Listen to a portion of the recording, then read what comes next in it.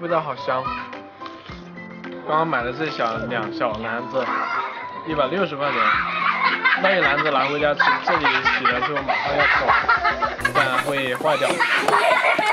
下班你们平时去摘草莓要多少钱？一斤可以在评论下方留言。喜欢我的视频，请关注欢子怡，我们下期再见，回家。想看更多精彩视频，请关注微信公众号“欢子 TV”。